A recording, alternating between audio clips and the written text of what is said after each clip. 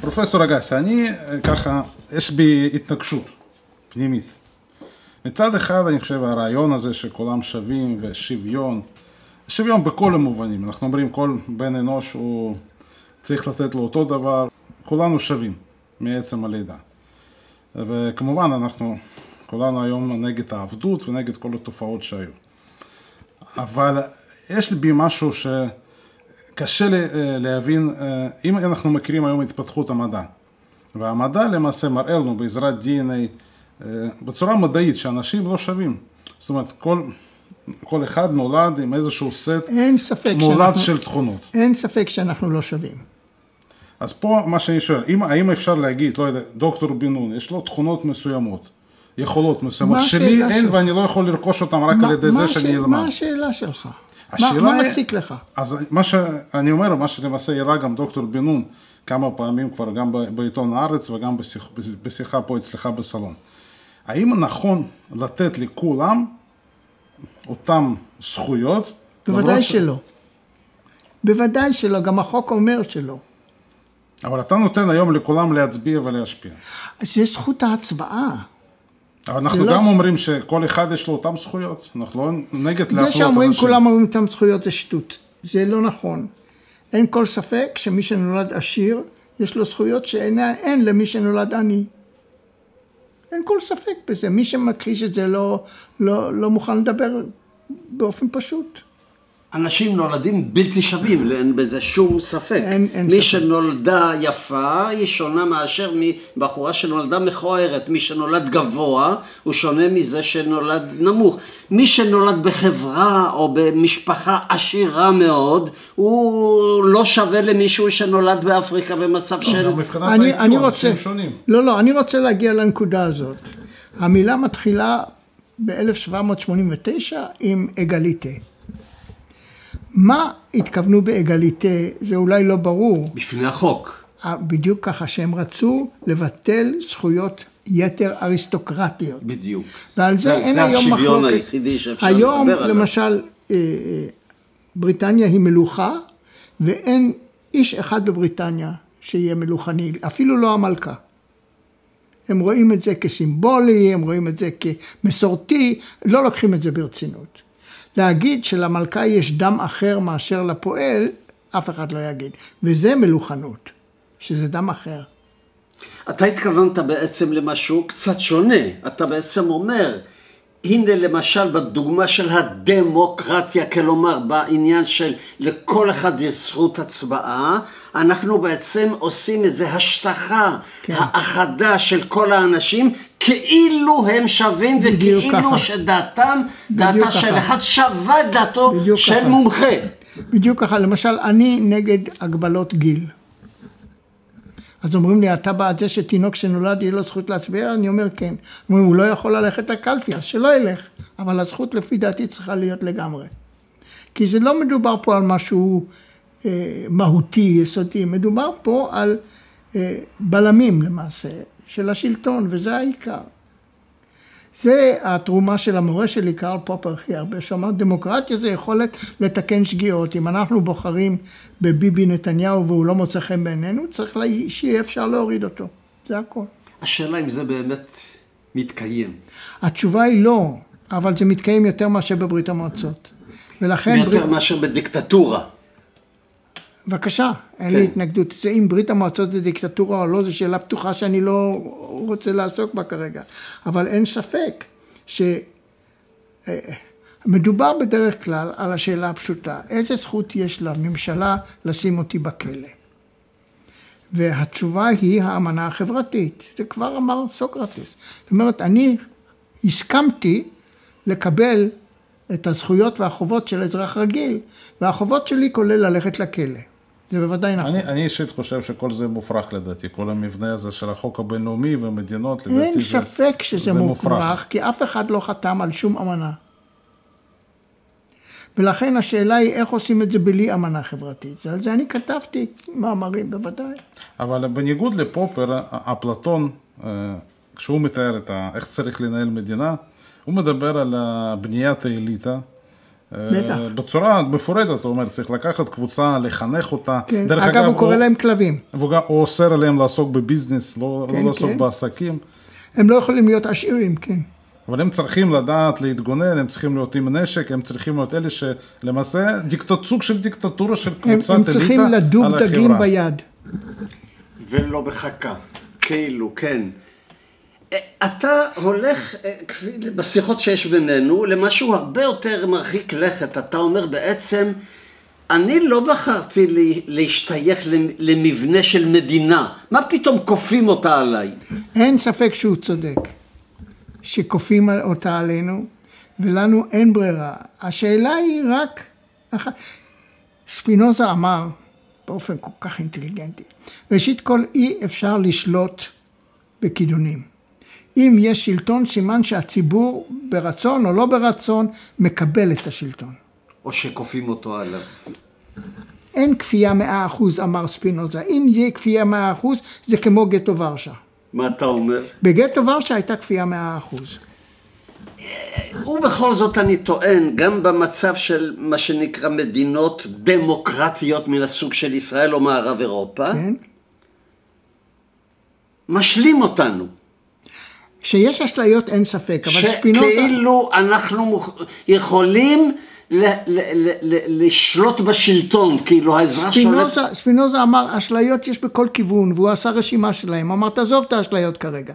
מה בעניין? הוא אמר, בעניין הוא, אתה נגד רצונך עדיין נשאר פה. היום אמר, קשה לעזוב את הארץ, אני לא יכול למכור את השדה שלי, ואני לא יכול ללמוד שפה זרה, מה אתה רוצה ממני? זה אמר היום, זה נורא מעניין. אם כך אתה בעצם, עם כל המצב כפי שהוא היום לגבי מה שנקרא הדמוקרטיה, או בוא, בוא נגיד ההצבעה של כלל האזרחים כדי לקיים מבנה מדינתי, אתה מקבל את המצב הקיים. אני מקבל, קודם כל באי רצון, זה הדבר החשוב. אני אגיד לך, אני פעם אחת באתי ארצה לבחירות כדי לשים פתק לבן, וגיליתי שבישראל אין פתק לבן, וזה העליב אותי מאוד. לא יודע אם אתה יודע, בישראל אין פתק לבן. לא סופרים אותו. הוא סופרים. אותו לא כפתק לבן, כן, כן. כפסול. הבנתי, כן. אתה כן. לא יכול להימנע, נכון. אין אין דבר לא כזה. אתה נמנע. ב- לא רק זה, ב- בבלגיה קונסים אותך אם אתה לא מצביע, ואתה לא מצביע, אתה יכול לתת פתק לבן. אבל אני עוד פעם, אני חושב שהמוסד הזה של הבחירות לכולם, לדעתי זה הכל אה, פיקציה, בלוף אחד גדול. אתה רואה, זוגתי עסקה בשאלה הזאת. היא אמרה, איך זה שבברית המועצות, שיש להם חוקה אידיאלית, אי אפשר לחיות, ובאנגליה, שאין להם חוקה, יש כל כך הרבה דמוקרטיה. והיא כתבה את הדוקטורט שלה על זה, והיא אמרה, מה שעושה את אנגליה הדמוקרטיה, זה שיש הרבה אזרחים שמשתמשים בשלטון המקומי כחלק של שלטון, הם לומדים מה זה שלטון. אם אני צריך לתרגם את מה שאתה אומר עכשיו, אתה בעצם היום קצת מעודד אותי ואומר לי, תשמע, למרות שהתהליך הזה של, של הצבעה שווה לכולם, שווה לאדם בור ולאדם, ולמומחה, ולמומחה, אל תדאג, הכל בסיכומו של דבר לא מתבצע שם, אלא הכוחות החיוניים של האוכלוסייה הם שקובעים בעצם אני מה לך, שיקרה. אני אביא לך עוד דוגמה מכלכלה. כסף זה מה שאנחנו אומרים שזה כסף. זה דבר ידוע מאוד, ברגע שהיו כרטיסי אשראי, נוסף כמויות עצומות של כסף בלי שאיש הוציא מיל מהבנק. כי זה אשראי, כסף זה אשראי, נכון. כרטיס אשראי. אתה יודע, רוב האנשים לא יודעים מה שאמרת לך. האשראי הוא יותר גדול מאשר כמות הכסף שיש. בדיוק ככה. לא רק זה, החוק דורש שלבנק יהיה מספיק כסף בבנק. וזה לא מתקיים. תשעה אחוז, תשעה אחוז, כן. אבל הפרט החשוב הוא שלמרות שכסף זה מה שאנחנו אומרים שזה כסף, ויש הרבה כסף מזויף, זאת אומרת שאנחנו טועים בזה.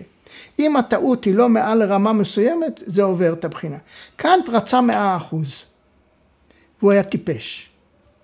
כי כל עוד. אפשר לסלוח לו, חי בתקופה כן, אחרת. אתה רואה, אני לא כועס עליו, אני מעריץ גדול שלו, אבל הוא בלבל את המוח, מה לעשות, זה בסדר גמור. אבל העובדה שכל כך הרבה דברים מזויפים אה, נכנסים לדברים האמיתיים, זה לא מפריע כל עוד אנחנו מכירים את האמיתי וסולחים למזויף. ברגע... אם כך, למה שק, חצי שקר? אם, אם ביטלנו את שטר של 200 שקל, כן. למה לא לבטל את, כרטיס, את הכרטיס האשראי הזה, שהוא בעצם פיקציה באותה מידה כמו אתה 200 יודע שקל? מה קורה בשוודיה עכשיו. הולכים לעשות את זה. כן, הולך יותר ויותר שאפשר לשלם רק בטלפון אלחוטי. לא בכסף ולא בכרטיס, רק בטלפון אלחוטי. אז קורה מצ, מש, מצב חדש, שאפשר לפקח יותר על מה שקורה. כן, בגלל זה, אבל אז כל אחד צריך טלפון אלחוטי, זה לא פשוט. אבל אתה רואה, בשוודיה גם יש עוד דבר. בשוודיה, אימהות לא נשואות, האבא של הילדים שלהם זה המדינה. זה המדינה. זה כל כך מוצא חן בעיניי, אני לא יכול להגיד לך. האבא של הילדים שלהם זה המדינה. כן. וזה חשוב כי המדינה חייבת לטפל להם לגן ילדים. וגן ילדים בשוודיה זה מה שאין באף מקום בעולם, זה באמת, אה, לכן יש יותר נשים בשוק. זאת אומרת, אם כל הכסף בעצם הוא של המדינה, והמדינה בעצם מחלקת לנו אותו לפי איזשהו היגיון טוב יותר, טוב פחות, זה עדיף על המצב הקיים. אתה יודע, אני כתבתי מאמר אחד בכלכלה, וזה על משוואת הכסף. ואני נתתי, הראשון שנתתי הוכחה מלאה למשוואת הכסף.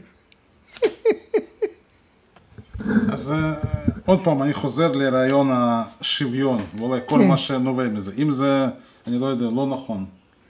אה, רגע, רגע, לא נכון במהפכה, שאנחנו נולדים שווים. מה שק... אתה רואה, באמריקה אמרו, we take it as self-evident that all men are born equal, וזה שטות. זה לא self-evident וזה לא equal. אבל מה שאמרו בצרפת, אגליטה, זה היה נכון, הם עשו אה, אה, חיסול של האריסטוקרטיה. זאת אומרת, יש הרבה אנשים שקוראים להם אריסטוקרט, אתה מכיר את פרוסט, פרוסט זה הכל על אריסטוקרטים וזונות. זה משונה ביותר. וזה שבצרפת לא מכירים את האריסטוקרטיה, נקרא אגליטה. שוויון בפני החוק. זאת אומרת, יש בפועל שלטון של גם, אליטות. גם בפני החוק אין תמיד ואנחנו- שוויון. גם בפני החוק אמרנו, למשל, ילד אין לו... גם- גם יש לפ- כל מיני, כן. אי שוויון, אבל החוק אומר איזה אי שוויון, ואת האי שוויון האריסטוקרטי מחקו, ועל זה מדובר. שמחקו את האי שוויון האריסטוקרטי, זה השוויון. זאת אומרת, אי שוויון המולד. זאת אומרת, אתה לא נולד עם היתרונות, אתה צריך להוכיח שיש לך יתרונות. אם יש לך, כן. או יש יתרונות שאתה לא שאתה חייב. אפילו לא צריך להוכיח. והעיקר, כמובן, השאלה החשובה ביותר זה הזכות לחיות. הזכות לחיות מוכרת רק מאוחר מאוד, אפילו במגילת זכויות האדם אין זכות לחיות, זה נורא משונה. כאילו שזה דבר מובן מאליו. כן, בוודאי. זאת אומרת, אני, אני חושב שהזכות לחיות היא דבר חשוב מאוד. אה, אני לא יודע אם אתה יודע, זכויות האדם נשללות מאדם המוצא להורג. זאת אומרת, אי אפשר להוציא להורג לפני ששוללים ממנו את ששוללים הזכויות. ממנו את החיים. כן. ואז בית המשפט מכריז שהוא לוקח ממנו את זכויות האדם ומוציא אותו להורג. ובסדר זה, לא בסדר אחר. זה פרט חשוב. טכני מאוד, אבל זה פרט חשוב. אבל אה, אני עוד פעם, סליחה שאני מחזיר אותנו כל הזמן לאותו מקום. כל הכבוד, למה סליחה? אני הולך עם, ה- לא יודע, פילוסוף שאני מאוד אוהב, את ויליאם פרטו, שמדבר על שלטון האליטות. פרטו היה פשיסט. הוא, אה, לא יודע אם הוא היה פשיסט, הוא מת בתחילת שנות ה-20, הוא לא, לא היה שותף לכל לא הדברים. שקרו זה אחריו. בוודאי נכון. אבל זה- באותה תקופה יכול להיות שהוא היה לא, מאלה ש... זה, זה היה נכון לגבי אבל זה- הרבה אינטלקטואלים איטלקיים חשובים מאוד, כן, שהם אבל היו... גם פשיזם באותה תקופה זה משהו לגיטימי, כן? אנחנו מדברים לפני כן. היטלר, לפני כל אין, הזוועות, אין ספק שאתה צודק. זה בסך הכל משהו לגיטימי. כי היום פשיזם זה נשמע משהו נורא, וזה אכן, אה, כל מה שקרה זה בהחלט, אני לא מקל ראש, אבל בשנות ה-20 זה היה שונה אתה לגמרי. צודק לגמרי. אז מה שאני אומר, הוא כאילו, מה, ש- לא, לא כאילו, מה שהוא אומר שהאליטות, כל מדינה, כל חברה, כל עם, רק האליטות קובעות לאן הוא ילך. לכן אה, אנחנו גם היום, אתה אומר, גם דוקטור בן נון אומר, למעשה עם בכל מקרה לא יכול לש, לשלוט, אז אתה בצורה כזאת או אחרת, אתה צריך לתת לאליטות לשלוט. כן. אני רוצה לעצור. אותך רגע ולספר שבאנגליה, שהיא אם הדמוקרטיות המודרניות, במאה ה-19 הייתה יותר ויותר דמוקרטיה, יותר ויותר מחוזות קיבלו רשות לבחור, ועדיין שלטה העילית, ולקראת 1900 הופיע קורא פחם, אדם בשם קיר הרדי, שהגיע לפרלמנט. וזה זעזע את הדמוקרטיה האנגלית, שאדם פשוט הופיע לפרלמנט. למרות פחם. כל החוקים, זה מעניין מאוד מה שאני מספר. וזה למעשה עשה את אנגליה לאימפריאליסטית. כן, וגם אני חושב שצריך לזכור, לא תמיד השינויים האלה דמוקרטיה. נגיד, קחו את האימפריה הרוסית. השלטון שם היה מושחת, כן, כולם כתבו על זה והגיעו למצב התסיסה המהפכני לא סתם. כמובן שם הרפורמות לא הגיעו, ביטול העבדות באמצע המאה ה-19. אבל ב-1905 ירו באזרחים. ירו באזרחים, אבל עדיין, אם אנחנו משווים את כל הזוועות של ניקולאי השני, כל מה שקרה לאחר שהשלטון שלו קרס והגיעה הממשלה הראשונה הדמוקרטית, זה לא משתווה, כן. קומוניסטים, אה, זה אפילו, כן. אי אפשר להשוות את זה. כן. גם אני, אני רואה גם בעונשים שהוא נתן, חלק הם, נכון, הוציאו להורג, אבל זה היו בודדים. כן. הרוב האנשים שלח אותם לסיביר. כן, כולל פושקין. כולל פושקין וכולל גם אנשים אחר כך שהשתתפו ב-1905 במהפכה הראשונה, רובם לא נהרגו, לא נרצחו, לא הוצאו להורג, נשלחו לסיביר, חלק שיצאו לגלות באירופה, זאת אומרת אי אפשר להשוות את זה למה שקרה אחר כך. בוודאי. כן, המיליונים שסטלין הרג. לא רק ה- זה, זה שסטלין הרג את טרוצקי, זה דבר מדהים. לא, זה דווקא תחרות מבפנים, היא- כן, אבל הוא הרג אותו במקסיקו. מה היה לו לפחד מטרוצקי? מה זאת אומרת, הרעיונות של טרוצקי, האגו. לא, זה לא רק אגו, אני חושב שהוא פחד מה... טרוצקיזם זה הפילוסופיה הכי מטומטמת שיש. אה, עוד פעם, אידיאולוגיה... זה תירוץ. זה לא סיבה להרוג, את ככה, טרוצקי. זה בדיוק ככה. להפך, זה סיבה לא להרוג אותו. לא להרוג. אני חושב בכלל שהקומוניזם, עם כל הזה שאנחנו צוחקים היום על קומוניזם, היו שם הרבה דברים שאולי יכלו להתפתח לכיוונים טובים. מה שקרה עם הסטלין, שהוא הוא למעשה הרג את הרעיון הקומוניסטי. זאת אומרת, מיד אחרי המהפכה הוא משתלט על ברית מכיוון שלא המועצות. היו בקומוניזם שום רעיונות של checks and balances. וזה התחיל כבר כשמרקס זרק את בקונין מהאינטרנציונל הראשון. זה כבר היה סטלין. יכול להיות, למרות שכביכול הם אה, דאגו שם לבחירות, הם דאגו לוועדות העובדים, וועד כזה בוחר ועד אחר. בטח, אבל למה לזרוק את בקונין? רק כי הוא לא הסכים עם מרקס. לפי דעתי הוא היה הרבה יותר אינטליגנטי. בקונין. כן. לא, אבל מה שאני פה אומר, שלא תמיד הרעיונות שנראים לנו יפים וטובים ונאורים, הם בסוף, בחיי המעשה, יותר טובים משלטון של ניקולאי השני, שלכל הדעות היה שלטון גרוע. כן. אבל אני בטוח שהרבה מאוד אה, רוסים היו רוצים לחזור, אתה יודע, בשנות ה-30 לתקופתו של ניקולאי השני, והיו... כן, כי הכלכלה עבדה בכל זאת, למרות כל השחיתות. אנשים לא הרגו אותם סתם ככה, אה, כל החיים היו, עם כל החסרונות, הם היו על כל. מקרה אין אפשרות לבחור היום בין שניהם, העולם השתנה לחלוטין לחלוטין, לגבי כן. שניהם. אין ספק, זאת אומרת. ההשוואה, אין בה, אין בה שום היגיון היום לגבי מה, ש, מה שאנחנו יכולים לשאוף אליו. נכון, אבל כשאתה מסתכל על ההיסטוריה, הרבה פעמים אה, התנגשויות קשות מאוד בין שתי מפלגות שבהן אתה מסתכל, מה, מה ההבדל ביניהם? זה כל כך, זה נורא. זה נכון, הם שניהם אותו דבר כאילו במידה רבה מאוד, במידה רבה, בתחומים כן. מסוימים לפחות. אנחנו רואים אצלנו בארץ, אנחנו ממשלות מתחלפות, המדיניות לא, לא משתנה. נכון, בכלום. נכון, מה קרה באמת ב... עם נפילתו של נתניהו ויש לנו עכשיו ממשלה חדשה, ההבדל הוא לא קריטי, ההבדל הוא, הוא כמעט, כמעט רק בקוסמטיקה של, ה, של הדברים, תשאל- תשאל במהויות, אותי מה ההבדל, אני לא לגמרי... במהויות עדיין, לפחות עדיין אין אה, שינוי משמעותי, לא בתחום הכלכלי, לא בתחום הביטחוני, לא בתחום תפיסות העולם, לא בתחום הנרטיב הלאומי. ודאי, אתה גם לא שואל מה ההבדל בין המוסלמים השונים. נורא כל כך פשוט. אפילו ההבדל בין השיעה והסונה. היום אנחנו מסתכלים על זה, מה, מה העניין הגדול? ומספיק שיעים הורגים שיעים. אז למה, למה מאוד. אתם חושבים, עם אה, כל מה שאנחנו מדברים, שלא עדיפה, לא יודע, איזושהי עריצות או דיקטטורה של האליטה, שאני כרגע לא צוחק, אני אומר את זה בשיא הרצינות. אה, אני לא יודע אם אפשר לשדר את זה, אולי לא נשדר את זה, נראה.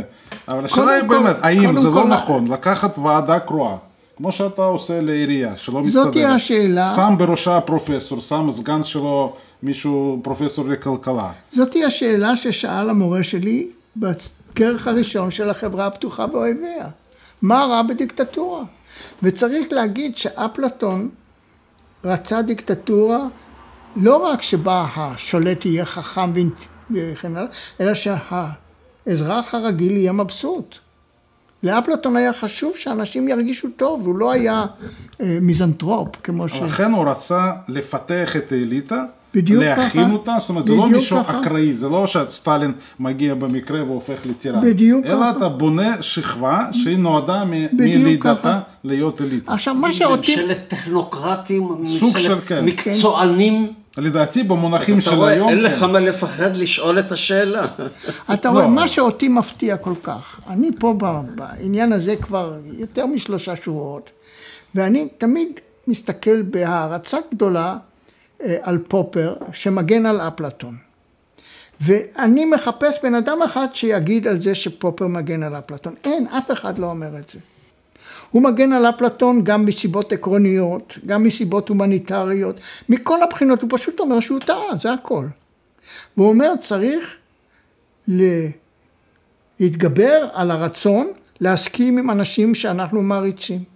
אפשר להריץ את אפלטון ולא להסכים איתו. זה כתוב בהתחלת הספר, באמצע הספר, בסוף הספר, ואנשים לא קוראים את זה. אגב, זה אי אפשר להכריח אנשים לקרוא, אבל מעניין שזה אחד הנושאים ה... אבל קבועים. למה אתה חושב שאפלטון אה, בחיים המעשיים הוא לא צודק? מסיבה מאוד פשוטה, שאין כל סיבה שהמלך הפילוסוף לא יהיה סטלין. שיש. חשש כזה. לא, לא, זו התשובה היחידה לא שעניינית. פחות גרוע מאשר דיקטטורה שקרית. אה, סליחה, דמוקרטיה שקרית. כן, אותו דבר, כן. אגב, דבר מעניין הוא שככל אותו שהוא... קושי. אם אתה מסתכל על דיקטטורות שונות היום על כדור הארץ, אתה רואה שככל שהאוכלוסייה של הדיקטטורה היא פחות מחונכת, כן, הדיקטטור משקר יותר. זה חוק שאתה יכול לראות בכל כדור הארץ. לא, זה אני מסכים לגמרי, ברור, כמה שאנשים הם יותר מפותחים, קשה לעבוד עליהם, זה ברור. בדיוק ככה. אבל אני עוד פעם, אני שואל, אתם עוד פעם נצמדים לאותה חברה פתוחה, אני לא יודע, לדמוקרטיה, אבל אני אומר לכם, אם נגיד לא, לא, סתם... לא, לא דמוקרטיה, חברה פתוחה, אדם סמית זה בשבילי המודל, והוא לא היה דמוקרט. בסדר, אבל אם אתה מסתמך על הבחירות, ואני אומר, כרגע אני לא רוצה להגיד, נגיד יש ראש ממשלה כלשהו, פופוליסט, פופולרי, בלי שמות, לא משנה. אם הוא מחר, אתה אומר, מה הבעיה שלו לתפוס שלטון בחברה דמוקרטית? הוא מחר יעשה, לא יודע, הצבעה, אנשים 70-80 אחוז יתמכו בזה שהוא יתמנה לשליט היחיד, לא יודע, כמו שעשו להיטלר. בגרמניה. כמעט היה פה דבר כזה. נו, אז מה הבעיה? מה דמוקרטיה פה עוזרת? קודם כל העובדה היא שהורידו אותו. לא, בסדר, אבל זה כבר עניינים טכניים, יכלו לא להוריד אותו. זה גם נכון, אני מסכים איתך לגמרי. בין שתי ההצעות שאתה מציע בעצם, אתה אומר הדמוקרטיה כפי שהיא קיימת כיום היא לא טובה. אני אומר שגם פיקציה. היא מסוכנת גם והיא פיקציה. מצד שני, אומר אגסי, תן לי דיקטטור מהסוג החיובי שאתה מדבר עליו, האם אתה יכול באמת למצוא אותו באותה קלות שאתה יכול להשוות אותו להיות, ולהגיד הוא יותר טוב מאשר הדמוקרטיה השקרית יש שעליו לי, שאתה מדבר יש לי דוגמה עליה. כזאת, יש לי דיקטטור כזה, צ'רצ'יל. צ'רצ'יל היה האיש החזק ביותר בעולם. אין כל ספק. אבל מקרי. הברז'ניב גם היה איש זה באמת. היה מקרי, הוא כמעט לא קיבל את... אתה יודע שזה היה מקרה שהוא נעשה ראש ממשלה. ממש ברגע האחרון אנש, אנשים לא רצו וכן הלאה, אמרו מה דעתך על צ'רצ'יל, אז אמר, זה לא... הוא היה כישלון במלחמת העולם הראשונה. בוודאי, אז זה, זה בוודאי. דברים ש, שקורים לנו בלי שאנחנו תכננו אותם. אתה בעצם אומר, בוא נמצא את הדיקטטור הזה. אתה יכול למצוא אני אותו. אומר, נחנך אותו, זה לח- מה שאומר אפלטון. מי יחנך אותו? אז זהו, זה מה שהטעות של אפלטון. שהחינוך לא יכול להיות כזה מושלם, שאנחנו לא יכולים לסמוך על שום דבר, אבל בעיקרון אני מסכים איתך שאם יהיה דיקטטור כמו של אפלטון, לא יקרה אסון, אבל הוא ימות ואז יהיה דמוקרטיה. הנה, הוא מסכים איתך. כן, בהחלט. אני, אני לא מפחד מהסיסמאות, זה לא, לא מציק לי. נכון, נכון. לא, אבל זה אותה, אותו קושי למצוא את ה, אותו דיקטטור נאור אני- שיציל אותנו. אני אביא לך דוגמה קונקרטית, יש לנו את טראמפ, שטראמפ הוא ההפרחה של כל העקרונות המערביים, ללא יוצא מן הכלל. לטראמפ היה מילה אחת, fake news, זה הכל. במילה הראשונה שהוא אמר, הוא אמר הכל. ואתה יודע שהוא אף פעם לא ניצחו אותו, רק שיקרו ורימו ב... אתה, אתה יודע את זה. שניצחו ב... לא ניצחו אותו אף פעם, שיקרו בקלפי. גם ה... גם ה... עד הסוף. אתה, הוא לא הכיר בהפסד שלו. בדיוק ככה. הוא אומר אותו דבר שאני אומר, אתה רק לא שומע. אבל אתה אומר את זה ב... בשפה שלו. כן, אבל אתה רואה, זה שיכול להופיע טראמפ, מראה את החולשה של הדמוקרטיה האמריקאית. זה שהוא היה על בטוח נכשל, זה החוזק של הדמוקרטיה האמריקאית. עכשיו, הוא נכשל על משהו מסוים, על קורונה, אבל לפי דעתי זה לא חשוב. מה שהיה חשוב שהנשיא יעשה, היה מכשיל אותו, לא חשוב מה, כי הוא היה אימפוטנט, אימפוטנט. לגמרי. הנה דיקטטור, זה לא עבד. לא עובד, כן. אני- לא אומר שכל דיקטטור זה יעבוד, אבל שאלה היא, עוד פעם, שאלה היא מה עדיף. זה כמו שאנחנו נדבר לא, על... לא, אתה צודק, אבל אם אתה לא יכול להגיד שאתה יכול לה- להבטיח, אז אתה לא יודע. אבל אם אני אומר... אני ש- מדבר על הסיכון, לא על נכון, המצב. אבל אני נגיד מסתכל עלינו, או אפילו בואו לא נסתכל עלינו, בואו נסתכל על מקומות אחרים, נגיד ניקח את פינוצ'ט. בן אדם לא הכי סימפטי, בלשון המת- עדינה. לא הכי סימפטי, הרג אה, כמה עשרות הרג, אלפים, הוא חטף ילדים, מה אתה... הפציץ את הנשיא בארמון, הרג אותו, נשיא נבחר. אבל, בואו נגיד ככה, המדינה לא הידרדרה למצב כמו שהידרדרה לדוגמה קובה. ואז השאלה היא, עוד פעם, נגיד הדיקטטור הזה מת, החזיר את השלטון לדמוקרטיה, והיום המדינה היא, המדינה, החזרת השלטון נמצאת הדמוקרטיה הכי טובה זה ספרד, פרנקו. ספרד, גם דוגמה טובה, נכון? הם חיכו שפרנקו ימות, חיכו נכון. בסבלנות, אמרו, לא נעשה מהפכה, נחכה שהוא ימות. עכשיו תחשוב אם במלחמת האזרחים הפרנקו היה מפסיד, שפרנקו גם לא איש סימפטי, הוא לא איש סימפטי. בעצם אומר, יש דיקטטורים טובים, יש הם לא דיקטטורים טובים, רעים. אפילו הם לא טובים, אבל לפעמים אם החברה מגיעה למצב של קריסה, אז יש לך אלטרנטיבות, ולפעמים אלטרנטיבות הן לא טובות, שתי אלטרנטיבות. כן, אבל תראה, שיש לך דיקטטור טוב, אתה צריך להגיד לו תודה רבה, ואני לא רוצה להגיד תודה רבה לאף אחד. השאלה היא, האם החברה שלנו לא נמצאת היום באותו מקום לא טוב, או, זו שאלה טובה, מכיוון כמו ש- שבישראל אין אזרחות. ספרד וצ'ילה וכל המדינות האלה. תראה, יש שתי שיטות חברתיות. יש השיטה של הקומונה ויש שיטה של האזרחים. ובאזרחים מה שחשוב, מה שאמרו במהפכה הצרפתית, שגם הגרמנים וגם היהודים היו אזרחים שווים. ובקומונה הם לא שווים, בקהילה יהודי וגרמני לא נכנס, כי בקהילה יש רק קתולים, והאפליה היא ברורה מראש. עכשיו, הריאקציונרים הם אומרים קומונה טוב, חברה רע, זה למשל הגל. הליברלים אומרים חברה טוב, קומונה לא טוב. אני דוחה את שניהם, אני אומר צריך שניהם. ולכן אני, הפילוסופיה שלי היא באמת לא, לא מרגישה נוח באף מקום, בגלל זה, שאני אומר צריך את שניהם. אני אגב, אגיד- באמריקה זה נורא חשוב. כשאני באתי לאמריקה הייתה שם סיסמה שהדהימה אותי, Go to the church or synagogue of your choice. זה היכה אותי. מה זאת אומרת of your choice? לא אכפת להם אם אתה יהודי או נוצרי. אכפת שתהיה יהודי טוב או גוי טוב. נכון, אבל ארצות הברית בנויה דווקא מאוד בשיטה של אפלטון, שבה הם מנסים לגדל כל הזמן את האליטות, הבחירות משפיעות בצורה קטנה מאוד על הפוליטיקה בכל העולם האמריקאית, הדמוקרט, שנקרא דמוקרטי זה ככה. אבל בפ- לא כמו בארצות- בפועל, לא בפועל. כמו בארצות הברית. יכול להיות. לא כמו בארצות הברית. כן. תראה, בצרפת יש מפלגות שונות, בארצות הברית לא ממש. משפיעות. הסיבה לכך שבארצות הברית הבחירות אזוריות, זה בעיקר הדבר נכון, החשוב. נכון, ויש להם, אה, לכן הם בונים את זה על שתי מפלגות, קודם כל יש לך מסננת של המפלגה, נכון. אחר כך אתה מגיע רק לבחירות ה... זה גם כן חשוב שזה לא מאה אחוז, יכול להיות בלתי תלוי ויכולה להיות מפלגה שלישית, הכל פתוח, אבל בעובדה יש שתי מפלגות, נכון. וגם שיטת האלקטורים שיטה מאוד מעניינת. כן, כדי שהיא זה יהיה מאפשרת באפר. שיהיה- ניטרול, ניטרול ההשפעה של הבחירות. ניטרול הדיקטטורה של הרוב. נכון. וזה זה המטרה זה שלי. גם מאזן את המדינות השונות, ופה אני באמת חסיד גדול של דה טוקוויל, שזה אומר מה? שהוא נגד שלטון הרוב העריץ, נגד עריצות. הוא, הוא רצה מדינה נאורה. הוא פחד מהפופוליזם האמריקאי, וזה המאה ה-19, אמצע המאה ה-19. הוא ביקר באמריקה וכתב ספר Democracy in America, ושם הוא אמר שזה לא דמוקרטיה, זה פופוליזם. והוא ודאי צדק. אבל הוא היה מוכן להרוג את כל האלג'ראים. עם כל המבנה השלטוני האמריקאי שאתה מהלל, מגיעים גם לטראמפ. כן. אני לא מהלל, אני אומר שהם ניסו מההתחלה, היות ובונים חופשיים עיצבו את המדינה, הבונים חופשיים הרבה מאוד אה, השתמשו באפלטון כמודל. ספק. אין כל ספק. ואז הם ניסו ליישם את זה בצורה עד כמה שאפשר ליישם את זה. כן, אבל הבונים החופשיים הם לא אפלטון, הם המצרים כמובן. כן, לא, אבל הם משתמשים ב...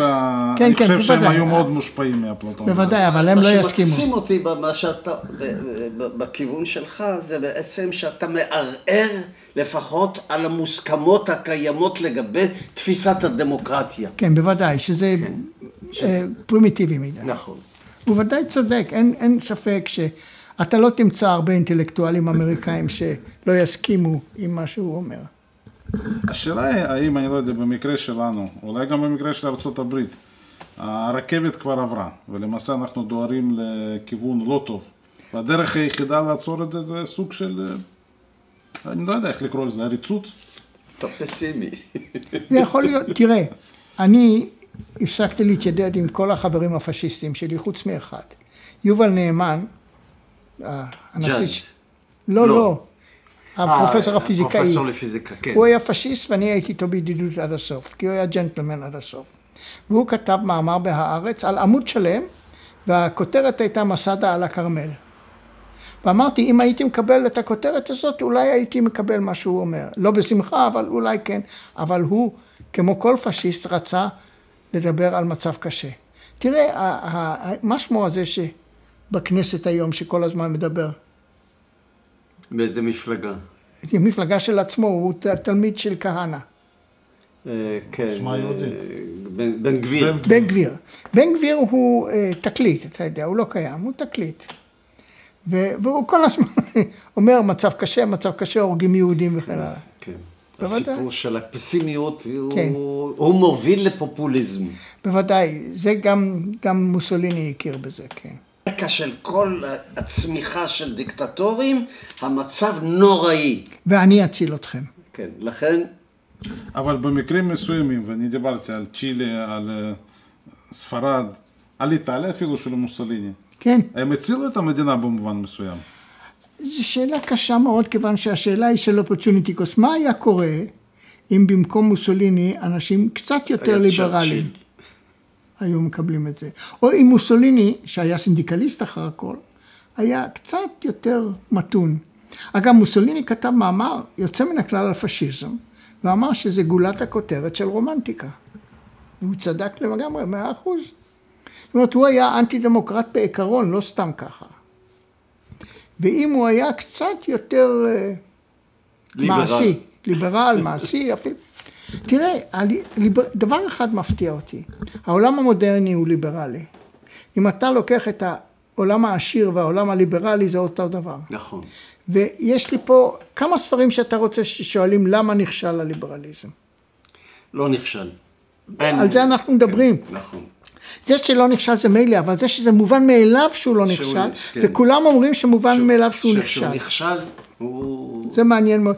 זה בעיקר אסכולת פרנקפורט. אסכולת פרנקפורט תמיד דיברה על זה שאנחנו בסוף העולם, שהכל מת, מתפורר, שאין תרבות, ש... נכון, הם עושים...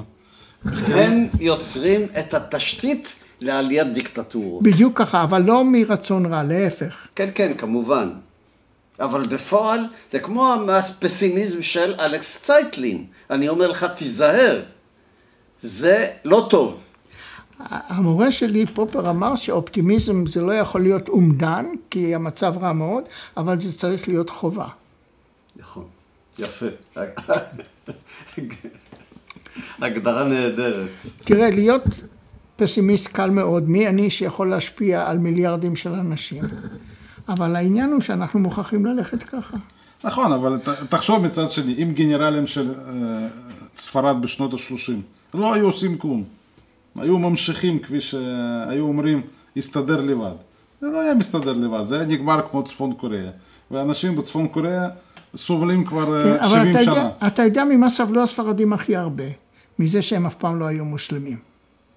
עכשיו, דרך אגב, יש נטייה לדבר על ספרד המוסלמית, אבל הם דיברו על הכיבוש המוסלמי, אתה יודע. כן, הם לא היו מוסלמים. אבל לא תור הזהב המוסלמי. כן, זה הם לא, לא מכירים בזה, וזה זה תמיד הדהים אותי. עכשיו הם שנים, משנים את זה, למשל בנו מחזרה את בית הכנסת.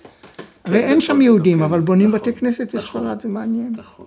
כן, המצב שלנו בעולם, עם כל הפסימיות שלך, יכול להיות יותר גרוע, כן. לא, הוא כבר קודם כל הכי טוב ש, ש, שבעולמות הקי... ש, שהיו קיימים קודם לכן. בכל התחומים. בכל התחומים. יגאל, אבל זה מה שאמרו אחרי מלחמת העולם הראשונה. לא? אמרו, המצב עכשיו טוב, המלחמות כן, ו- יותר לא יהיו, לעומת מה שהיה קודם, הם צדקו. והגיעו למלחמת נכון, העולם לעומת השנייה. מה שהיה קודם, תמיד. מה- יש אבולוציה. השאלה היא האם מלחמת העולם השנייה הייתה לא נמנעת, וגם הפירר וגם ברנרד שור אמרו, למעשה ורסאי גרם למלחמת העולם השנייה. אה, אני בכלל לא חושב באופן דטרנמיסטי שאירועים היסטוריים היו חייבים לקרות כפי שהם קרו. אני גם חקרתי הרבה את אה, מלחמת העולם הראשונה, אני לא מזמן רק עסקתי בחקר של ההתכתבות, במחקר על ההתכתבות בין ניקולאי שני לקייזר גרמניה.